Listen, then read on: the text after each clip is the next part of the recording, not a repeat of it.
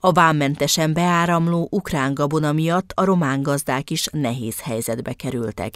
Ezért a kormány az Európai Uniós kártérítés kiegészítéséről döntött csütörtöki ülésén. Ellenben nem függesztette fel az ukrán mezőgazdasági termékek importját. A bukaresti kormány 20 millió eurót fordít az ukrajnai gabona miatt kárt szenvedett termelők támogatására.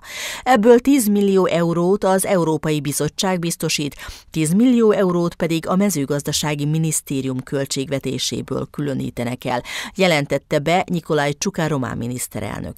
Meg kell találni a megfelelő megoldásokat a mezőgazdasági termelők és élelmiszeripari feldolgozók problémáinak megoldására, de az Ukrajnának nyújtott támogatást is fenn kell tartani, vélekedett a politikus.